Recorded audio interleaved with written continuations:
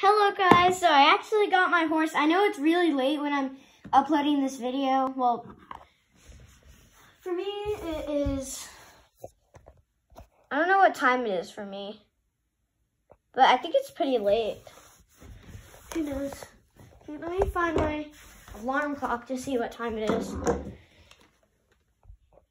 For me it is 7.18, which is not that late, but yeah here is my new horse.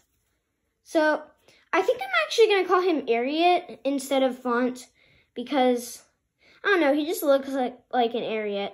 Anyways, so I think I'm going to film a short film with him in, included. It's going to be called um, The Lesson or, yeah, The Lesson so yeah, stay tuned for that.